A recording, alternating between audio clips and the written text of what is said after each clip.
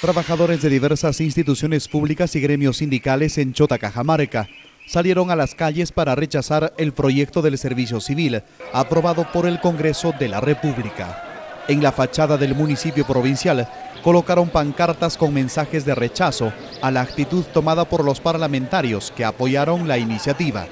Otro grupo, en plena plaza de armas, quemaron llantas.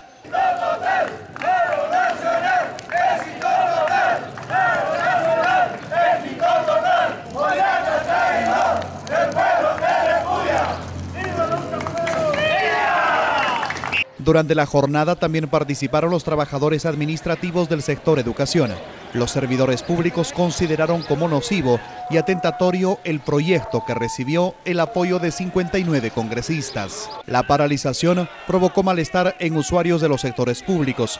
En tanto, los manifestantes anunciaron que se mantendrán alertas ante convocatorias nacionales y no descartaron acatar un paro indefinido.